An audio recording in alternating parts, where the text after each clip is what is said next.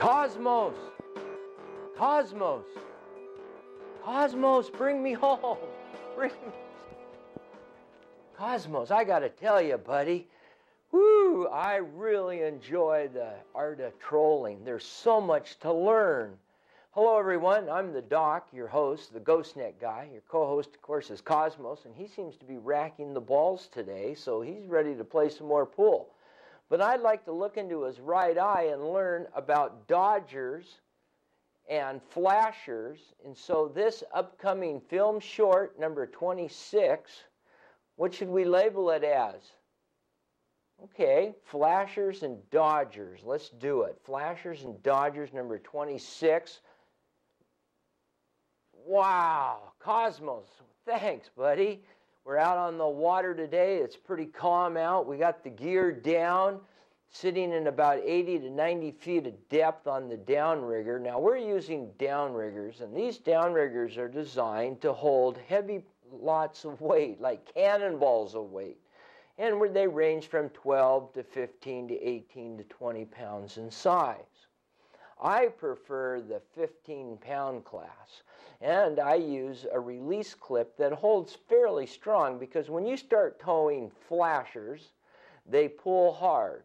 And as they pull hard, they like to trip out of the release clip, which makes it frustrating for yourself when you're out there trying to catch some fish and you can't get the gear down because it keeps tripping free of the release.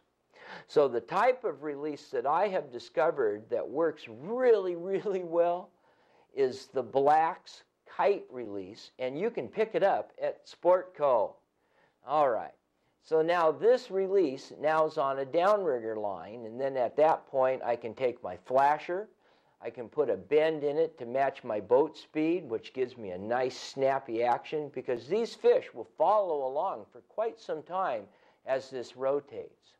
Now if I'm using a Dodger, I'm going to have a fast snappy action and the leader length is going to vary from four to six feet behind a banana sinker weight system of some type.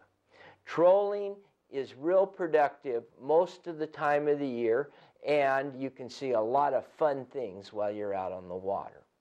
Just remember, everyone, when you are on the water, you want to wear your life jackets and you want to make sure that you have the proper equipment on your boat. Maybe a bell and a whistle. Maybe even consider filing a float plan for you guys that have been fishing in the ocean. I know sometimes you got to get out 55 miles to reel in a big halibut.